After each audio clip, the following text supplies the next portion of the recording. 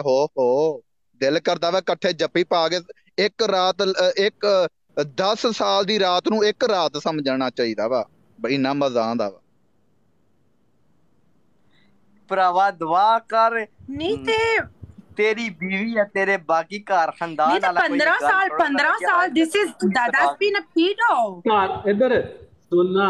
ਉਹ ਹੈ ਲਾਈਵ ਨਾ ਸੁਣਦੇ ਹੋ। ਉਹਨਾਂ ਦੇ ਵਿੱਚ ਮਜ਼ਾ ਵੀ ਬੜਾ ਹੈਗਾ।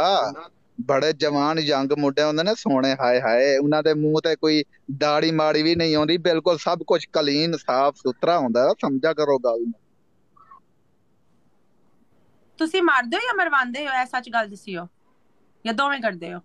ਬਚਪਨ ਤੋਂ ਮਰਵਾਨੇ ਆਏ ਨੇ ਮਾਰਾਂ ਤਾਂ ਹੁਣ ਮਾਰ ਤੇ ਬੂਟੇ ਆਉਣ ਸਾਡਾ ਕੀ ਰਹਿ ਗਿਆ ਹੈਗਾ? ਮਰਾਵਣ ਵਾਲੀ ਗੱਲ ਰਹਿ ਗਈ। ਓ ਯਾਰ ਯਾਰਾ ਯਾਰਾ ਮਾਰਾਂ ਯਾਰਾ ਵਾਲੇ ਬਣੇ ਆਉਣ ਓ ਯਾਰਾ ਮੇਰੀ ਗੱਲ ਨੂੰ ਤੇ ਇਤਫਾਕ ਕਰਨਾ ਲੋਂਡੇ ਬਾਜ਼ ਹਮੇਸ਼ਾ ਉਹੀ ਹੋਣਾ ਜੇ ਬਚਪਨ ਤੋਂ ਮਰਵਾਨਾ ਆਵੇ ਵਾ ਯਾਰ ਇਹ ਡਰਾਮਾ ਹੈਗਾ ਜੋ ਇਹ ਕੰਮ ਡਰਾਮਾ ਇਹ ਬਿਲਕੁਲ ਵੀ ਹਕੀਕਤ ਨਹੀਂ ਵਾਲੀ ਹੈ ਕਿ ਝੂਠੀਆਂ ਥੱਲੇ- ਝੂਠ ਅੱਛਾ ਝੂਠੀ ਅੱਛਾ ਗੱਲ- ਬਿਲਕੁਲ ਚੁੱਪ ਝੂਠੀਆਂ बिल्कुल ਗੱਲਾਂ ਨੇ शाका, ਸਾਰੀਆਂ ਯਾਰ शाका, शाका चुप कर किंग तुसा भी नहीं बोल रहा शाका तुसा नहीं बोल रहा सैरिश आपने भी नहीं बोलना नीचे कमेंट में मुझे बताओ कि लोंडे बाज कौन होता है जो बचपन से बुन मरवाता आए वो होता है या जो पैदाइशी लोंडे बाज होता है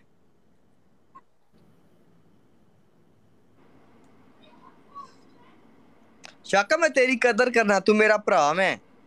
ਤੂੰ ਮੇਰੀ ਦਿਲ ਜਾਨ ਦਾ ਟੋਟਾ ਮੈਂ ਲੇਕਿਨ